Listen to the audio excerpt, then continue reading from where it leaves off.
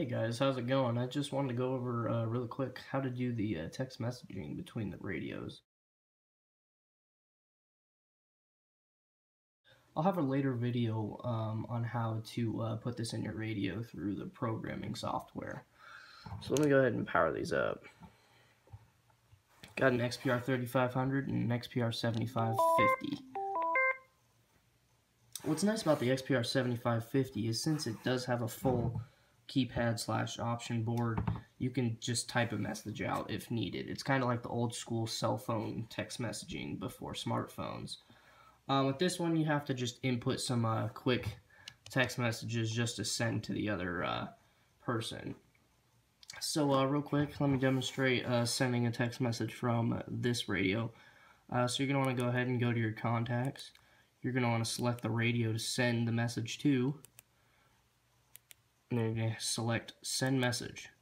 It's going to be a quick test, you quick text, excuse me. You're going to have an option of uh, 50 uh, quick texts to be programmed into the radio. So, um, real quick, I'll just uh, send OK to the other radio. So you're going to hit OK to send OK, and then you're going to hit OK again to send OK to the radio you have selected. This one will then ring and progressively get louder.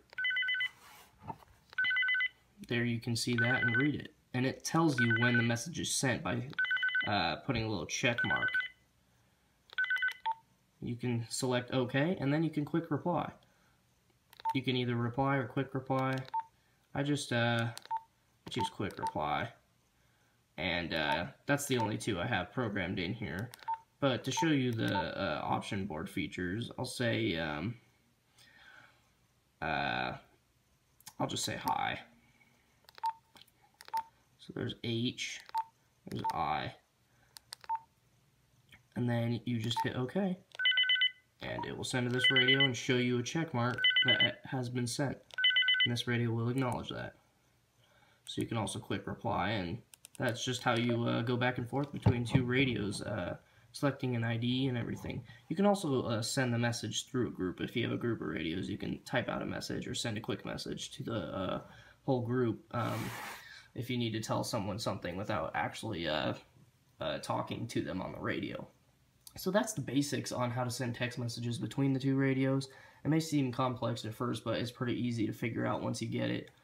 Um, that's all I have, so go ahead and check out the channel. Don't be afraid to hit that like button, subscribe, and uh, come back for my uh, future videos. Thanks for watching.